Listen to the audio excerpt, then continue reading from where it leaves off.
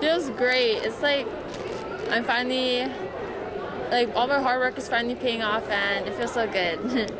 Signing with the home team, knowing that you're going to spend your collegiate years with Hawaii across your chest, what does that mean to you? It means a lot because I get to represent my family and all my coaches that have worked with me. So it feels really good.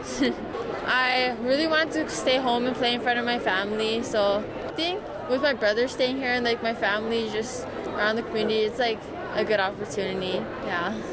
Now, Coach Bud's style of play is real physical, and people say you're one of the most physical players to come out of the Hawaii in years.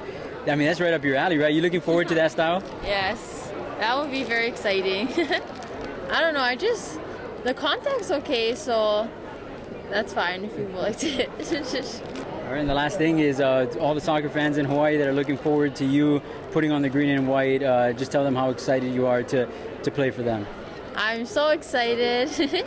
I can't wait to play free wage and I hope I can do something.